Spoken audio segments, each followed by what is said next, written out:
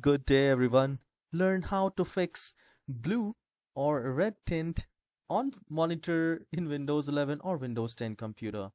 So if you have your screen little bit reddish or bluish and you want to change it to your convenience according to your preference, you can do that. Just do a right click in the start icon and then go to settings.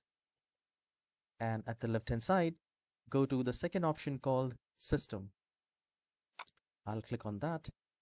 And then go to the first option at the right hand side display. And here we don't have to uh, you know go to the brightness. We just need to go to this night light and try to turn on or turn off the night light there. And you will see a big difference. I mean if your screen if your monitor is reddish you can drag it to the left if it is you know bluish you can drag it to the right and according to your preference you can simply select it.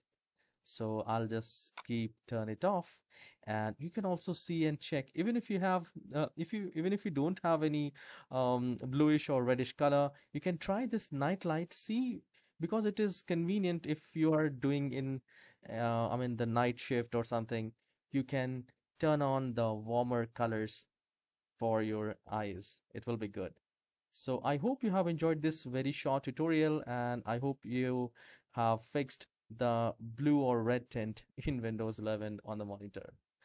I'll see you in the next video. Have a wonderful day.